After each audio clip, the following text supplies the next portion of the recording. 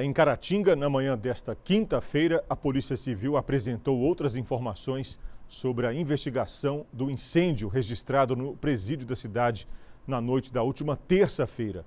Em nota, a Delegacia Regional destaca que abre aspas, sobre o episódio do presídio, a Polícia Civil lavrou o auto de prisão em flagrante pelos crimes de homicídio e tentativa de homicídio qualificado em desfavor de quatro suspeitos de serem os autores do crime.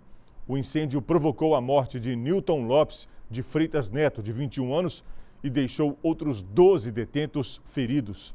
De acordo com as investigações, detentos que estavam em uma cela de sanção disciplinar conhecida como castigo atearam fogo nos colchões.